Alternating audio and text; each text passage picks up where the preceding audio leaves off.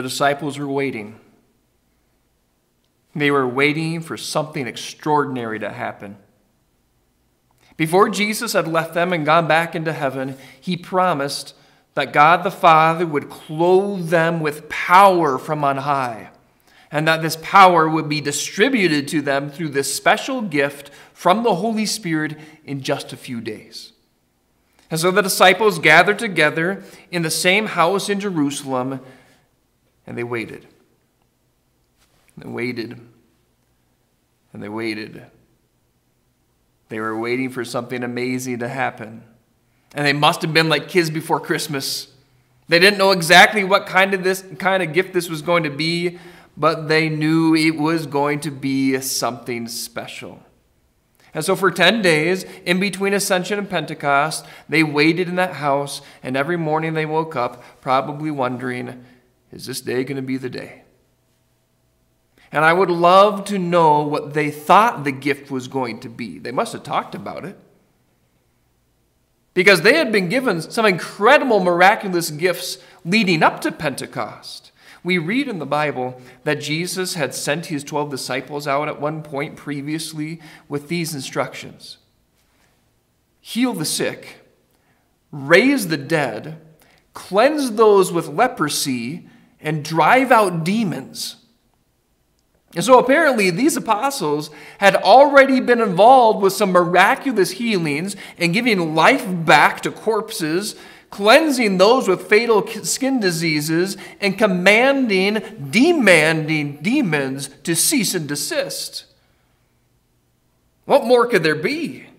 What other gift could the Lord possibly now give them? What could be better than the miracles that they were already ready to perform? But then the day of Pentecost rolled around, and the Lord gave them the best gift of all the ability to speak. And yes, it was a special ability. They could speak different languages automatically and fluently. But the fact of the matter is that this incredible gift of the Holy Spirit, this power that they were clothed with from, from on high, was nothing more than the ability and the opportunity to speak God's word. And although that doesn't seem as impressive, impressive as some of those other miracles that the disciples could perform, the reality is that the Lord saved the best for last. Because this gift had to do with forgiveness and salvation and eternity. This gift healed people of spiritual disease. This gift gave life back to corpses dead in sin. This life made sure that souls were healed from fatal illnesses. This gift cast out doubt and fear from the hearts that were plagued by it. The disciples could do many different miraculous things leading up to Pentecost. But once the sound of that rushing wind filled the room and what looked like tongues of fire separated and sat on each of their heads, the disciples were given the best gift that an apostle could ever want the ability and the opportunity to speak God's word. Now, there have been times in my life when I've come across a person who spoke a different language, and I wished that the Holy Spirit would endow me with the same kind of gift that He gave the disciples on Pentecost, so that at least I could have a conversation with that person in a brand new language. Because it's frustrating when you can't even have a discussion with someone on the most basic of levels. Wouldn't it be nice to have this Pentecost gift at your disposal? You could avoid hours and hours and hours of trying to learn a new language. You could get past the miscommunication that always happens when you're trying to cross the language barrier. And neither you nor the person that you're talking to would have to go through any awkward conversations because you just can't understand each other. Wouldn't it be nice to have this Pentecost gift right now? But let's think about the implications of that. I'm not so sure most of us would actually like this gift from the Holy Spirit.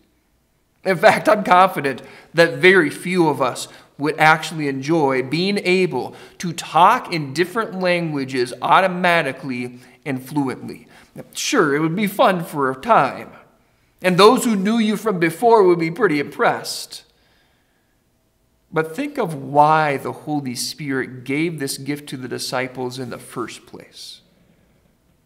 It was specifically so that these men could speak the word of God to people they didn't know.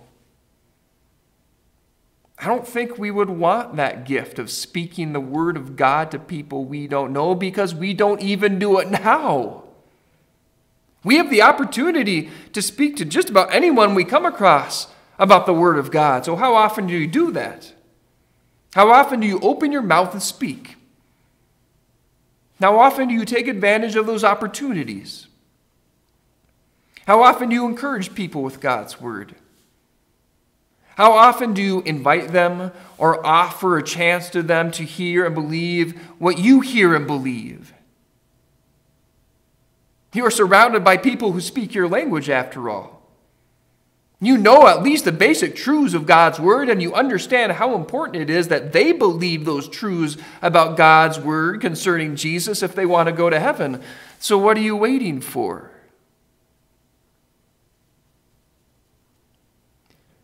What are you waiting for? It's an interesting question, isn't it? The disciples were waiting, but not for long. The disciples were waiting until Pentecost came. And then they waited no more.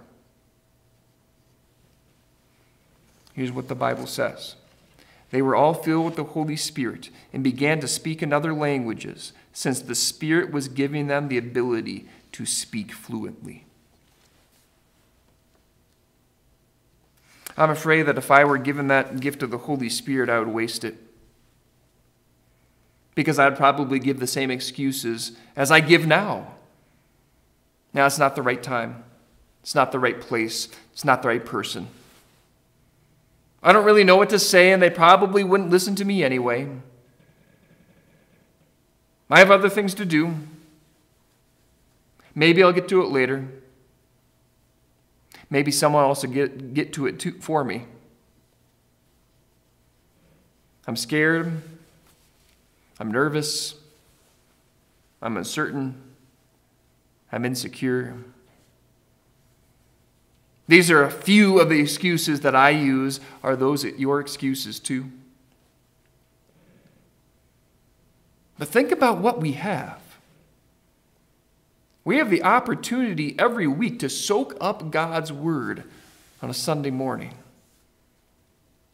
We have the opportunity to dig deeper in Bible studies throughout the week. We have the opportunity to read our own Bibles at home. We pray to our God. We lean on our God. We trust in our God. We rely on our God. We believe in our God, not just for things here, but things for eternity.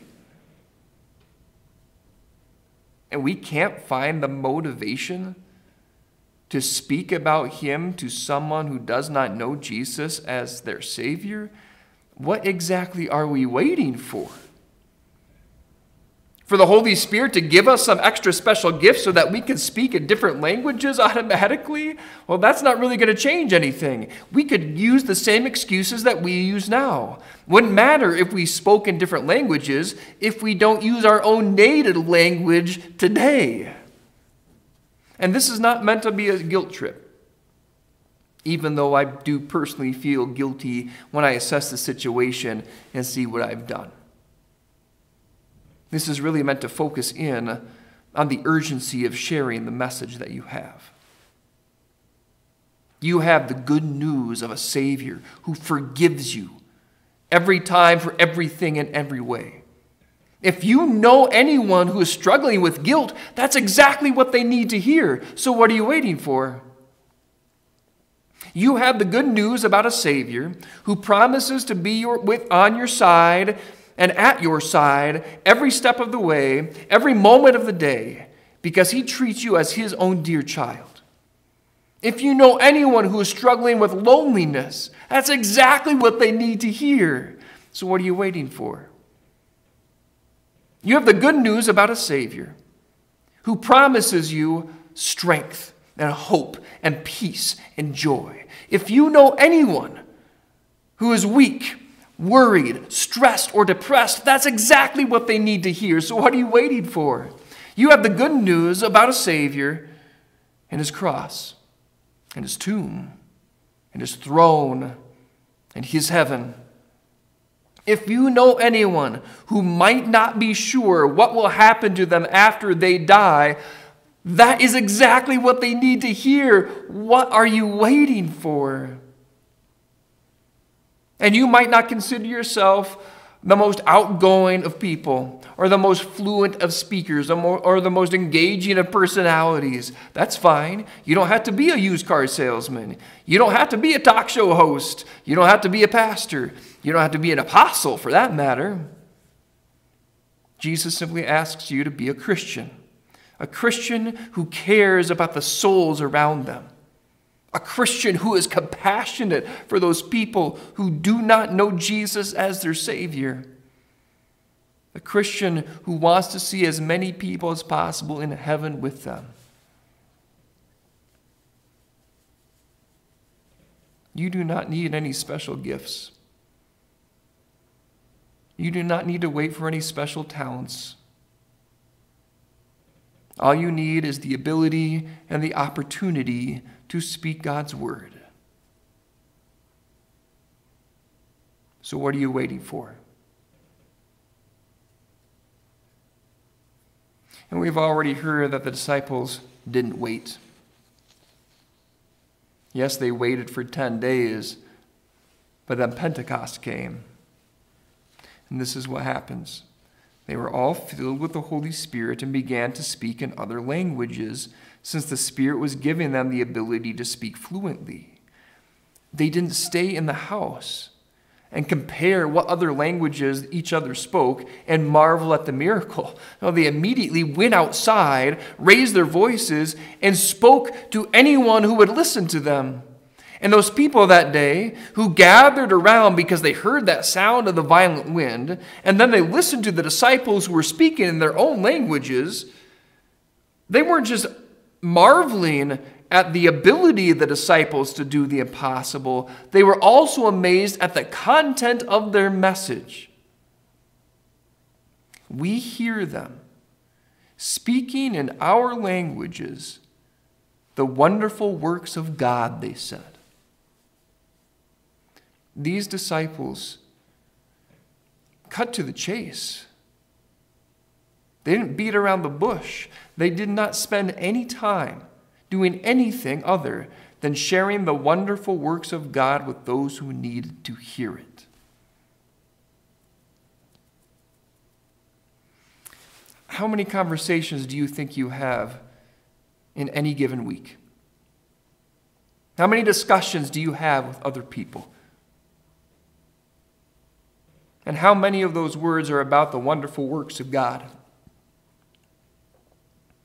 And I understand that sometimes you have to talk about work with fellow employees, and sometimes you have to talk about yard maintenance with your neighbor, and sometimes you have to talk about what you're going to have for supper with your spouse. But can't some of these conversations be steered in a direction that is bigger and better and forever? Couldn't some of these discussions have in them phrases and sentences and maybe entire topics that have to do with your faith and what you believe and hope for? Can't you sometimes invite and encourage and offer someone the opportunity to hear God's word with you? You have what most people in this world do not have. You believe in someone whom most people in this world do not believe in. So, what are you waiting for? The task is simple. It's miraculous, but it's simple. Speak. Speak God's word. Whether it's fluently or you stumble over yourself every time, But people need to hear what God has done for them. There's nothing more important that you could say. There's nothing more pressing that they could hear. And there's nothing more powerful, more beautiful, more essential that everyone needs to believe. You have it. You know it. You believe it. And they don't. They don't, at least not yet. So, what are you waiting for? Amen.